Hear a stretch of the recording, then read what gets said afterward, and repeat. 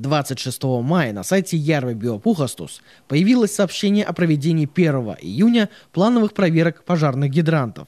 Предприятие также поставило жителей в известность, что в связи с этим могут иметь место перебои в водоснабжении во всех домах Ярвинской части города Кохтла-Ярвы. В указанный день подрядчик, согласно договору с предприятием Ярвы Биопухастус, провел проверку гидрантов.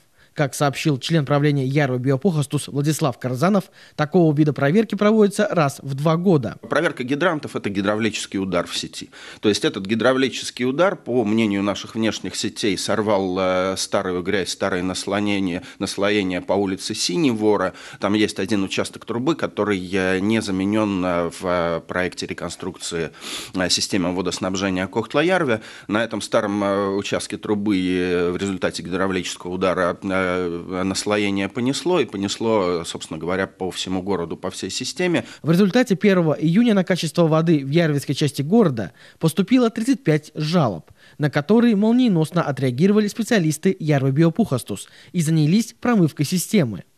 Как сообщил Карзанов, спустя один день после инцидента жалоб от жителей больше не поступало.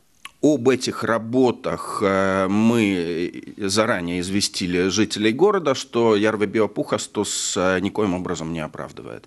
То есть э, я считаю это недоработкой Ярве Биопухастус. Мы должны и могли были предвидеть такой результат и должны были больше контроля оказывать над действиями нашего подрядчика. И поэтому я приношу жителям города извинения.